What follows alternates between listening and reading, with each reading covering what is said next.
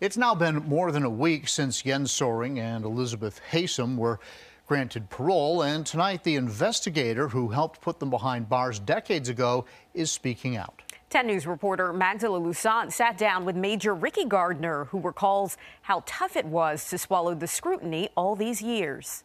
I don't know if you've ever been scrutinized for something that you did 35 years ago, but it's not fun. The Bedford County Sheriff's Major, Ricky Gardner, has been silent the last three decades until now. Common sense tells you that the only two people that benefited from the death of her parents was was Soering and and Elizabeth. There was never anybody else that had any motive, means, or opportunity to to kill the Haysom. Jens Soering and Elizabeth Haysom, who were convicted for the murder of Haysom's parents, Derek and Nancy, in 1985, were granted parole last week. I was uh, very disappointed. Soering spent the last several years pleading his innocence.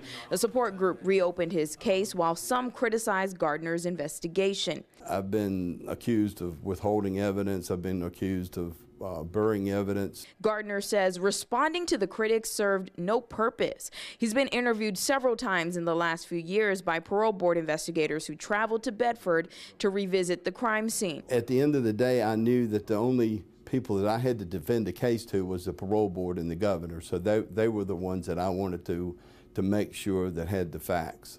Despite the release, Gardner is satisfied and proud of the work he and others put into the case, especially knowing Soering's pardon was not granted. Feels pretty good to be vindicated after all these years that I was actually right all along. While Soaring and Haysom are now preparing to live life in their native countries, Germany and Canada, Gardner can move on too. And I just want to put this in the rearview mirror and taking the high road. In Bedford, I'm Magdala Lusant, 10 News, working for you.